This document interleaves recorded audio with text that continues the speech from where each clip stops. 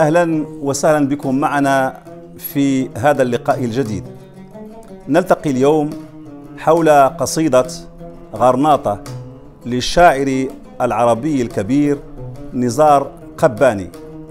نستمع إليها على إيقاع نغمات يؤديها لنا الفنان المقتدر الأستاذ فتح الله الشكلي. قصة القصيدة أن الشاعر نزار قباني زار قصر الحمراء وكانت مرشدته الأسبانية تتحدث إليه عن تاريخ قصر الحمراء في غرناطة. وتمادت تمادت متباهية بجدودها الأسبان. فاستغرب نزار قباني على اعتبار أن العرب هم من بنى هذه المعلمة التاريخية العظيمة. فكانت هذه القصيدة ردا عليها وتقول ما يلي. في مدخل الحمراء. في مدخل الحمراء كان لقاؤنا ما أطيب اللقيا بلا ميعاد. عينان عينان سوداوان في حجريهما تتوالد الأبعاد من ابعادي هل أنت إسبانية؟ هل أنت إسبانية؟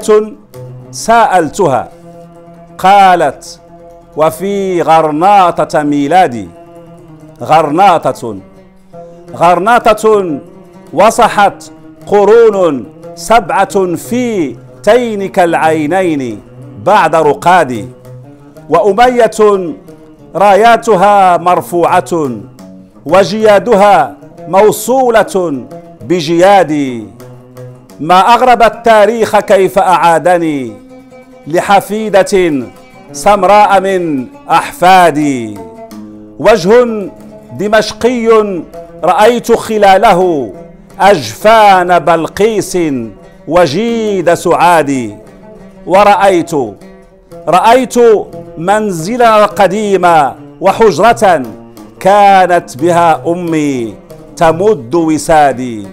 والياسمينة رصعت بنجومها والبركة الذهبية الإنشاد. ودمشق أين تكون؟ قلت ترينها في شعرك المنساب نهر سوادي. في شعرك المنساب نهر سوادي. في وجهك العربي في التغر الذي ما زال مختزنا شموس بلادي. في طيب جنات العريف ومائها في الفل في الريحان في الكباد. سارت معي والشعر يلهث خلفها كسنابل تركت بغير حصاد. يتألق القرط الطويل بأدنها مثل الشموع بليلة الميلاد. يتألق القرط الطويل بأدنها مثل الشموع بليلة الميلاد. ومشيت مشيت مثل الطفل خلف دليلتي وورائي وراء التاريخ كوم رمادي. الزخرفات الزخرفات أكاد أسمع نبضها. والزركشات والزركشات على السقوف تنادي. قالت قالت هنا الحمراء زهو أجدادنا فاقرأ على جدرانها أمجادي أمجادها. ومسحت جرحا نازفا ومسحت جرحا تانيا لفؤادي.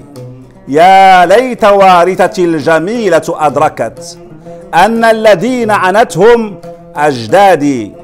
يا ليت وارثتي الجميلة أدركت أن الذين عنتهم أجدادي عانقت فيها عندما ودعتها. رجلا يسمى طارق بن زياد.